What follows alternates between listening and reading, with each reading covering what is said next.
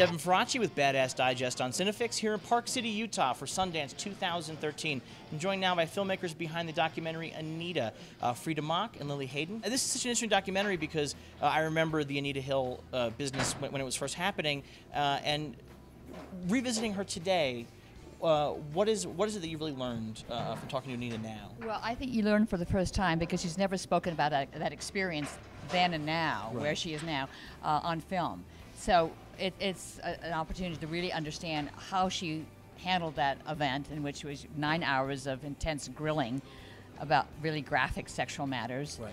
and, and, then be uh, confronting an all-white male uh, judiciary committee who seemed often not to understand what she was talking about in terms of sexual harassment. Do you think that we have move forward in terms of sexual harassment, in terms of not blaming the victim? Because that was one of the things that was happening. I, I, I feel a little cynical about where, where we stand today. Uh, yeah, I, at least on a public policy level, and, and in terms of language, I think we've gone further in that people can talk about that with those experiences, right. and, and actually there are in place. Uh, people are aware of laws that you cannot discriminate in right. that way in, in a workplace environment. You know, composing for, for, for a feature, often the music is a, a, dynamic part of, of the scene and the moment. In a documentary, is it is as much, or what, what, what is the purpose of music in a documentary?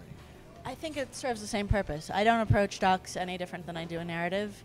Um, I think that it's the music is there to make you feel something when words are sort of tickling your brain. I'm there to tickle your heart in right. a way. Um, and uh, they're stories. It's a story. You still have to feel something. You still have to go from A to B. You still have to have a sense of, right. of you know, I mean, we're human beings. We like stories. So I approach them the same way. Freida, for a lot of people, uh, the Anita Hill uh, situation, the Anita Hill scandal, I guess, was uh, there's a couple of phrases synonymous with it, long dong silver and pubic hair and a coke can. Uh, when people watch this documentary, uh, people who only have that perspective, that that's, that that's that, that sensationalized media perspective, what what what different perspective are they going to walk away with after watching the doc? They'll see that the who she was was lost. I felt. And so they'll learn more, they'll understand who she is and why she did what she did and where she came from. And that because she was perceived as a liar in terms of the public at that time, uh, you'll find from the film uh, it's not asking one to prove or disprove anything. It's for you to understand who she is and to feel who she is. Right. Yeah.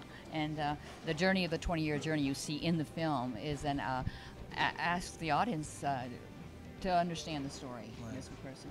Well, guys, thank you so much for coming. I really appreciate it. Good luck with the film. I, am sure it's going to get picked up pretty quickly. I'm, I'm pretty excited to see it myself. I'm Devin Faraci. This is Badass Digest on Cinefix here in Park City, Utah for Sundance 2013. Make sure to subscribe so you don't miss a single interview along the way.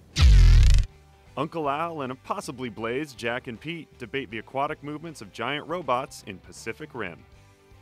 There's only one reason Hollywood goes to Utah Sundance. Grae Drake gives her best films from the not Butch Cassidy Film Festival. Ben Lyons reviews new movies, Grace Randolph recaps the Golden Globes, and Marlon Wayans stops by to talk about a haunted house. Devin Faraci is on location in Park City for everything badass that Sundance has to offer. Get your film fix. Subscribe to Cinefix.